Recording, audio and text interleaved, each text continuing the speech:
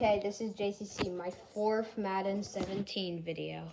And in this, I call this play that I just did the triple spin. Watch and learn.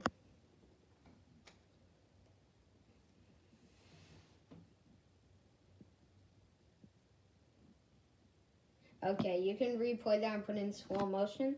I just have to make sure to shorten my videos. Thank you so much for watching. Make sure to like and subscribe.